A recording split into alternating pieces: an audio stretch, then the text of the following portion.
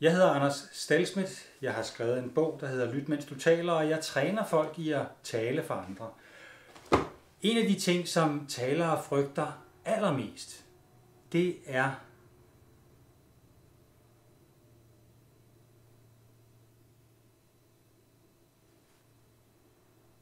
at klappen går ned.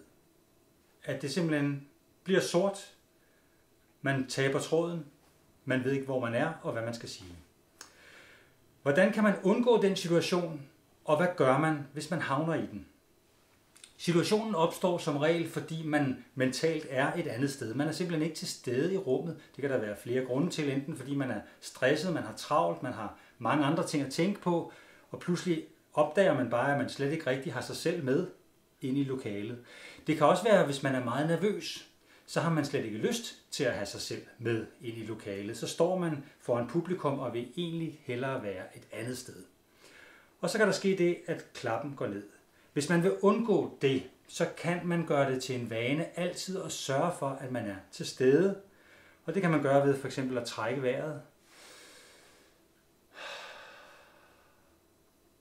Kig på folk. Smile til dem. Få kontakt og ligesom mærke, at man er i det her rum foran de her mennesker. Hvis man gør det hver gang, inden man taler, så reducerer man risikoen for at havne i den situation, at klappen går ned.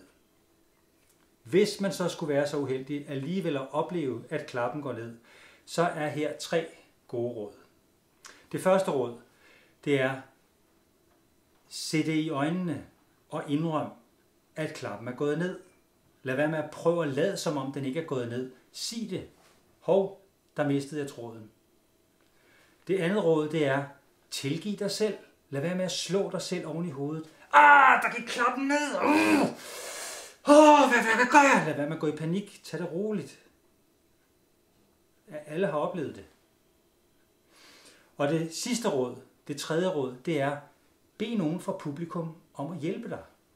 Spørg ham dernede, hvad jeg har tabt tråden, kan du ikke lige, hvor, hvor, hvor var det, jeg kom fra? Hvis han så heller ikke kan huske det, så kan du sige, okay, så er vi to, der ikke kan huske det. Det er jo altid rart ikke at være alene om at have tabt tråden. Det var mine tre råd, og øh, husk, det er altså ikke nogen katastrofe, hvis klappen går ned.